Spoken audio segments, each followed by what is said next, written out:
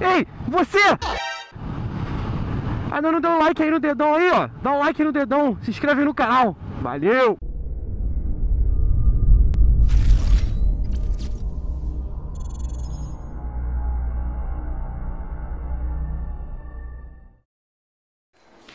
Fala galera, beleza?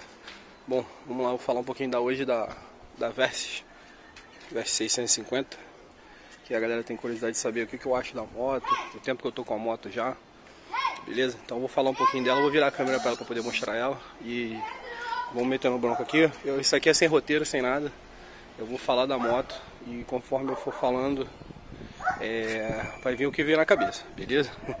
É isso aí galera, até já Bom, vamos lá, galera. Aqui é uma VS 650, ano 2012, beleza? É, tem 19 mil rodadas, infelizmente eu tô sem chave, até porque também a bateria, eu tô esperando chegar, deve chegar essa semana. A bateria dela era original de fábrica e durou 9 anos. E deu problema, morreu de vez agora, até porque a moto tá parada na quarentena, mas já tava dando sinal que tava cansada e que ia morrer. Beleza. Acontece. Vamos lá. É, é, é um videozinho só para falar o que eu acho da moto na estrada, é, os pontos fortes, os pontos fracos, é, o que, que eu acho que poderia ser melhor, o que, que não poderia ser. É, a primeira coisa que eu acho que é fantástica nessa moto é a suspensão. Beleza? Tem a suspensão irada, a é, suspensão lateral. Muito boa a suspensão com várias regulagens. Vocês podem ver. Várias regulagens. Tá suja, tá galera? Eu tava na capa, eu tirei ela agora depois de sei lá, quase um mês. E a suspensão da frente é upside down, né? Invertida. A minha é do modelo que é esverdeada, modelo diferente, né? Ela é mais esverdeado. Tem os detalhes em fibra de carbono e tudo mais, enfim. Então, suspensão copia bem, não é dura, tá? Não é dura. Inclusive, eu acho que é uma suspensão que é, deixa ela mais alta. Isso é bem legal, deixa uma moto bem alta, confortável e tudo mais. Agora, se você está é, procurando uma moto trail, não seria essa daqui, tá? Essa aqui tem uma tocada Sport Touring, mas a suspensão é fantástica, fantástica. Você pode deixar do seu jeito, mais mole ou mais dura. E ela copia o asfalto, nossa senhora, bem demais, tá? Muito bem copia o asfalto. Ah, parte dos pneus, é, o pneu original que a gente fabrica é o Pirelli Diablo. Eu já troquei para o Michelin, o pneu da frente tá novinho ainda, que é o Pirelli Diablo. É original de fábrica ainda, galera. Vocês podem não acreditar, mas é original de fábrica ainda. Beleza? É, que eu acho que deveria ter vindo de fábrica um protetor de radiador. Não vem o protetor de radiador. Beleza? Apesar do meu radiador estar novinho. Beleza? Sem marca, sem pedra nem nada. Mas tinha que ter um protetor de radiador. E a buzina é horrível, tá? A buzina dela é horrível. Eu pretendo trocar. Botar uma da, da Twister ou da Falcon. Beleza? É, a minha já está com protetor de slider, mas eu, queria, eu queria, ou quero ainda, não sei, né? É, fazer um protetor de motor e tanque, beleza? Proteger ela toda. O modelo da minha não é a Touring, então ela não tem é, protetor de mão, tá? A minha já está com as, manetes, as manoplas esportivas, já está com a manete esportiva aqui, ó. Deixa eu virar para vocês verem, com regulagem, beleza? Não enforca nem nada, tá bem reguladinho. Agora vocês vão ver um defeito que não é só a Yamaha que tem esse defeito. Deixa eu tentar botar aqui, dar um foco. Deixa eu tentar afastar. Tá ruim de dar foco aqui. Bom, não quer focar, mas vou tentar fazer afastado aí foca melhor. Isso aqui, ó, enferruja, beleza? Isso aqui é da Kawasaki, tá? Só que o da Yamaha é com um ano enferruja. Da Kawasaki levou aí desde a, do seu nascimento para enferrujar. Essa é a diferença de qualidade, mas enferruja, tá? Mas é o único ponto da moto vocês forem ver, que tem ferrugem, literalmente. Entendeu? Nenhum parafuso do motor tem ferrugem, tá? Pelo menos não aparente. Beleza? Nada, nada, nada, nada. Então isso é bem legal. O pessoal não gosta da bolha, não gosta do farol. Eu já acho fantástico o farol, beleza? O farol dela é muito legal. Hum, farolzinho. Não tá com LED, só tá com um pingo de LED. E tá com a bolha original ainda. É, é difícil de botar o LED, tá? Lâmpada de LED. Isso aí é um ponto negativo, porque é muito ruim para você ter o acesso ali, para você poder mexer. Deixa eu tentar ver aqui de frente. Você ter o acesso ali é muito ruim. Beleza? Tem que vir por baixo da moto. É bem ruim, beleza? É bem ruim mesmo. Principalmente o pingo. O pingo você não consegue nem olhar, você tem que ir no tato. Beleza? Para trocar. É bem difícil de trocar. É... Os retrovisores são fantásticos. Eu tô falando ponto negativo ponto positivo tudo junto, tá galera? Que fica mais fácil. Os retrovisores são fantásticos, tá? Muito bem desenvolvido, muito, muito bom, muita boa visualização, não vibra. Assim, vibra, mas não de você não conseguir enxergar. É, por isso que eu deixei os originais, não faço questão de trocar e botar outro, tá? Pera aí galera, já volto. Vamos lá galera, é, para não perder o fio da meada aqui. É, então os retrovisores eu deixei original. Eu botei um voltímetro aqui, que eu acho que o painel deveria ter, mas não tem. Não tem marcador de marcha. Isso aí é ponto negativo. Eu botei uma tomada é, USB aqui também, deveria ter, entendeu? Eu acho que custa nada, né? Porra, desculpa o palavreado, 20 reais, entendeu? É, eu acho o acesso da chave muito, muito ruimzinho, poderia ser o contrário, ou aqui em cima até, entendeu? É, não um alongador, não um riser. Pra gente que é, eu sou alto, eu, vou ter que, eu teria que botar, mas não sei se vou botar agora. Mas o guidão tem uma, uma curvatura muito boa. E quando você senta na moto, você fica alto, tá? Só pra deixar claro. Os comandos são perfeitos, precisos, tá? E, inclusive são de ótima qualidade. Tem pisca-alerta, é, luz de, de passar, passing, setas aqui, buzina, beleza? Bem, bem legal. A buzina do padrão original. É uma coisa que é bem notável, que, é, que não é muito mole, e eu já tentei de tudo, talvez eu vou trocar o cabo. É, minha, minha embreagem não é muito macia. O pessoal fala que ela é macia. Eu já tive duas versas e é a mesma coisa, tá? Não sei da onde, mas enfim, não sei da onde eles tiraram essa ideia, né? Mas a embreagem poderia ser mais macia. Na nova eles conseguiram deixar mais macia. Talvez eles tenham trocado a mola da campana de embreagem, vai saber, né? Não sei. É, tampa do padrão aviação, beleza? Uh, já do padrão aviação, eu tive que fazer uma limpeza geral na tampa, porque a tampa infelizmente agarra. E aí eu fiz uma limpeza geral já tem bastante tempo e tá aí novinha, entendeu? E foi a primeira revisão que eu fiz desde quando saiu da, da fábrica, tá? Que o ex-dono não fez nada. É, desculpa a fungada. Retificador, regulador de voltagem fica aqui. Eu acho que poderia ser na frente para refrigerar ele melhor, mas nunca ouvi falar de dele queimar tanto assim, o que dá muito problema nessa moto. Não é muito, né? São algumas. É, a partir dos 40, 42 mil, ali 50 mil, é o estator. Tá? O estator costuma queimar. Cara, não sei te dizer o porquê. Eles falam que é, um, é o fio que é muito próximo do outro e acaba entrando em curto e queimando. Enfim, complicado de, de, de dizer, né?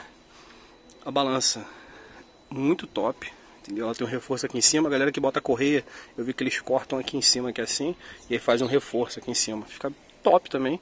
Só que eu não botei, eu não pretendo botar correia não, vou deixar corrente mesmo, até porque a correia custa R$ 2.500, tá? Eu já fiz uma limpeza no pedal aqui, de embreagem, que estava bem dura, agarrando inclusive. Já fiz a limpeza também na, no reaperto na, na, no descanso, que ele costuma folgar, tá? Aí a moto inclina mais. Tem que ficar de olho nisso daí, beleza? É, isso é revisão periódica, tá? Isso aí tá dentro do manual de serviço, inclusive. A ventoinha dela fica aqui embaixo, fica aqui na frente. Não joga é, o calor infernal para as pernas, até porque essa moto não esquenta muito não, tá galera? Pelo menos a minha não esquenta muito não. É bem confortável, não me incomoda em nada. E, tá? Já peguei calor de boa, de boa mesmo. Motorzinho, não preciso nem dizer, né? O motor é fantástico. Agora, isso daqui, ó, vocês estão vendo? Isso aqui não é pedra não, tá galera? Isso aqui é pintura original da moto, já decorrer dos anos, querendo começar a craquelar, tá vendo? Começa a querer é, sair, né? Mas é bem pouquinho. E a tampa do, do peão que ela desbota, ela fica é, cinza, né? Felizmente. O banco. O banco é fantástico. Olha o tamanho desse banco. Deixa eu virar aqui, fica mais fácil. Olha o tamanho desse banco, galera. O banco tem atrás aqui, vamos botar aqui na frente, um palmo e, e três dedos, quatro dedos. O do piloto aqui, no tamanho da minha mão, né? Dois palmos. É bem grande. E outro material, é de gel, tá? Uma espuma muito, é um material muito gostoso. Um gel bem gostoso, um banco bem confortável. É, não tá me dando, não, me dá muito pouca dor no cox, tá? Muito pouco. Já a Lander me dá muita dor no cox. Beleza? É, os pneuzinhos originais, de medida original, tá? É um pneu 160 na traseira e 120, 110 120 na frente, perdão. Beleza?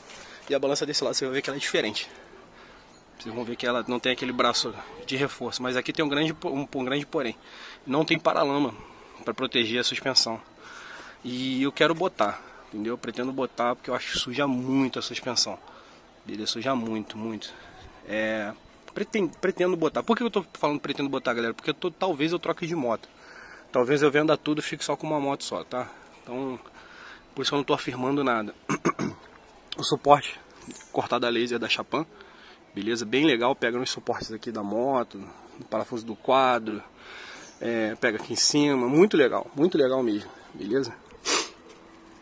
Tá aí a motinha, tá com a placa Mercosul. O suporte do baú, o baú é bem firme, cara. Já botei bastante peso, inclusive eu tenho que botar um, uma borracha aqui embaixo. Esse baú, essa aqui, ó, costuma fazer barulho, ó. Entendeu? É, meus dois baús fazem o mesmo barulho. É, incomoda, tá? É, o freio, a mangote. O freio, o freio dela é extremamente forte, tá? O freio é extremamente forte, extremamente preciso. A minha é sem ABS. Beleza? São pinças da Tokiko. Beleza? Pinça de pistão duplo da Tokiko. Tá com a pastilha Potenza. Só que os mangotes são mangotes de borracha. O Aerokeep, isso aqui fica fenomenal. Beleza? Eles sobem aqui. Eu tive um problema na caixa de direção. Tive que trocar a caixa de direção dessa moto. Mas foi fácil de arrumar. Eu botei da Hug. Ficou top. Top, top, top, top. E o freio traseiro é, uma, é um... É um, é uma pastilha, é um pinça de pistão simples. Desculpa vibrar, de vibrar aí, galera, porque eu tô tentando passar aqui porque a moto tá, tá no cantinho aqui. Pistão simples, mangote de borracha. O freio traseiro é muito bom, tá? Muito bom, não tem nada que reclamar não. E é disco também. Mas com certeza um mangote aqui, um aerokeep aqui, ia ficar sensacional, sensacional. E como eu falei, o lance da suspensão ela tem regulagem de tudo, tá vendo? Aqui pra deixar ela mais soft. Tentar, então, aqui ó essa opção aqui. E aqui também tem a parte da compressão de mola. Beleza? Bem legal. Manutenção dessa moto é muito fácil de fazer. É, as carenagens são muito fáceis de mexer. Muito fáceis mesmo. Você tira aqui essas carenas lateral, levanta o tanque, tira o banco. Já tem acesso a tudo, a tudo. É, o painel do estilo... Pera aí, galera. O painel do estilo analógico é, é de RPM, né, de contagiro e digital na, na sua extremidade. E os, os botões são muito precisos, muito fáceis de mexer também. Beleza? E tem a galera que reclama que fala que ele vibra. É, o meu não faz barulho nenhum, tá? Minha moto é 2012, tem 19 mil e não faz barulho de nada. Agora vai dar modo de cada um, da revisão de cada um e como anda, né? Mas minha moto não faz barulho, já peguei é, ruas paralelepípedo, já peguei todo tipo de rua. O cara vai botar som agora, né? Bem na hora que eu tô gravando. É, regulagem do da marcha lenta é aqui, muito fácil acessar, beleza? Pode ver que tá com, tá com as tintas originais, chama isso aqui de Torque Seal, tá? É usado chamar de Torque Seal. Os parafusos originais, as borrachas, as borrachas originais, beleza? A minha tá com escapamento esportivo, o escapamento original ele pesa por volta de 7 kg, beleza? Fica embaixo da moto. E é bem bonito também, mas eu botei um escapamentozinho esportivo, que eu gosto de um barulhinho e pra mim é uma questão de segurança também. Beleza? É, regular o farol da frente. Muito ruim o acesso. Beleza? Você tem que botar a ferramenta aqui por baixo, tá vendo ali? Ó, essa catraquinha aqui. A ferramenta vai até aqui em cima, onde tá meu dedo aqui, ó, passando por dentro. Beleza? É bem ruim o acesso, tá? E não dá pra tirar o farol. Pra você tirar esse farol, você tem que desmontar a frente da moto toda, tá? Só pra avisar pra vocês, é bem complexo pra mexer nesse farol. Então se você quebrar esse farol e eu tiver que me fazer uma manutenção, já tô avisando que vai ter um pouquinho de trabalho, tá? as pedaleiras borrachada na frente, tanto a do motorista do pedal de descanso, do pedal de marcha quanto o pedal de descanso, e a traseira de, do estilo da CB500, né? Nova, retrátil. Bem legal, né? Bem bonita. É, parte do radiador, fluido de expansão fica aqui, tá? O fluido de expansão dela fica aqui. Deixa eu passar aqui pra frente. E o radiador, para você completar ele, fica atrás dessa carenagem, beleza? Então ele está aqui escondidinho aqui. A parte de para você botar tá aqui. Já deve ter visto algum vídeo aí meu ou de outra pessoa.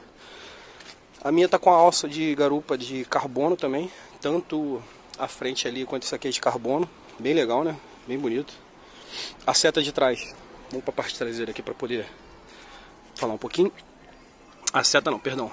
É a lanterna traseira de LED. Todas elas são de LED. A seta é do tipo de lâmpada, tá? E o, o como é que você fala? O luz de placa. Eu botei uma, um pingo de LED também. E tem um olho de gato aqui. Beleza? Então é bem legal. A traseira dela é bem bem grande. Vocês estão vendo aí, ó. Ela é bem bonita. É, aparentemente ela parece ser bem gorda, né? Mas não, passa no trânsito tranquilo. Dá pra usar dia a dia, tá? Quem tiver com uma grana sobrando, quiser é, usar dia a dia, dá pra usar dia a dia. Eu só uso pra final de semana, pra um rolezinho, pra um encontro, alguma coisa assim, beleza? E agora eu vou mostrar pra vocês a parte de suspensão da frente, regulagem. Só tem de um lado, é, aqui ó, as novas tem dos dois lados, beleza? Só tem de um lado. Barulho aqui de vento não incomoda, o barulho de motor também não incomoda em nada. É... O que mais que eu posso falar pra vocês, galera? Já vem com vela Iridium de fábrica, não é Iridium laser, é Iridium convencional, tá? A minha moto tá fazendo na média... Deixa eu virar aqui a câmera pra mim. Vamos lá. A minha moto tá fazendo em média de... Uh, 22, 23 na, na estrada.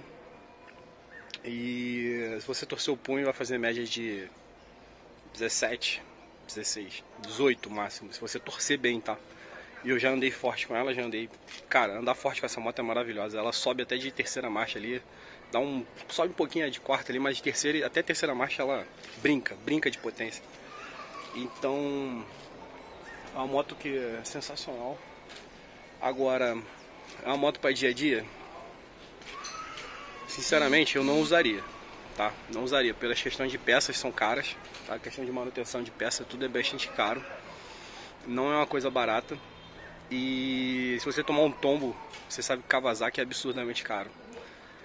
Então, se vocês forem comprar uma moto dessa para usar para dia a dia, faz um seguro completo, vai pagar caro, tá? Principalmente aqui no Rio de Janeiro, estado de São Paulo também. E faz um seguro completo porque se você cair, brincadeira vai ficar cara, tá? Brincadeira fica cara. Agora, se você usa para final de semana, você usa para dar rolê, essas coisas, é a moto perfeita, tá? Moto perfeita. Ou faz igual a mim. Tem a Lander para dia a dia, para moer, se cair é barato de arrumar, e a, a Versa para final de semana. Só para vocês terem noção, aquela carenagem ali, deixa eu tentar mostrar essas carenagens aqui, ó, do tanque, essas daqui da, da asa aqui, ó. Cada uma custa em média 600 reais, tá? Sem adesivo. Sem adesivo, 600 reais. Só pra vocês terem noção, o kit de relação dessa moto aqui vai variar de... Kit bom, tá? Kit vagabundo aí tu vai achar por 400, 500 reais. Bom, kit bom tu vai achar na faixa de 800, 900 reais até 2 mil reais. Correia 2.500. Se você quiser botar correia, entendeu? É contigo mesmo. É... Motor desse aqui para fazer eu não faço ideia, nunca vi um motor desse aqui aberto. Sinceramente é um motor, um tanque de guerra esse motor não quebra, dificilmente quebra. Ele tem esse problema do estator, já vi um problema do, do selo do, do da bomba d'água também romper, mas, cara, é um, um, um em um milhão, assim. Pra ter ideia, eu nunca vi nem. Nem. É, como é que eu posso dizer? Nunca vi nem essa moto falhar por injeção eletrônica, nada, entendeu? A minha eu peguei não tinha nem filtro, vocês viram no vídeo. O ex-dono era negligente, ele não fez nem limpeza de filtro. Complicado, mas eu fiz e a moto hoje é zero, perfeita, não falha nada, não bate nada, nada, nada, nada. É um tanque de guerra. Inclusive a galera pega essa moto, vai muito pro Atacama, vai pro Chuaia. Eles mudam os pneus, né? Botam um pneu mais é, parrudo, né? Um pneu de cravo, mete bronco e vai embora.